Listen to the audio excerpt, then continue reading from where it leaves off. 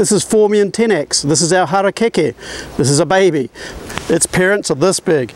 Okay, this is one of our standard wetland plants. It loves having its feet close to water, but we also use it in restoration as the front line on a, on a planting. If we've got a park and then bush behind us, we love using harakeke because it's low, it spreads out, it produces a bit of a low barrier to stop uh, things, balls, kids getting into the forest. But harakeke is a most useful plant to have around. A great flower spike in spring, set your clock by it, birds love it. It'll draw the tuis in for kilometres around. And of course it's a working fibre.